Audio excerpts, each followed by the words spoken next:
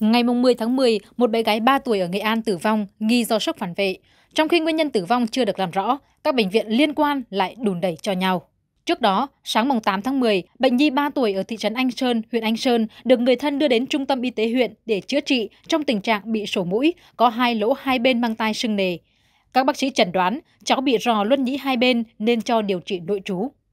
Đến 10 giờ sáng ngày 10 tháng 10, cháu được đưa lên phòng để phẫu thuật.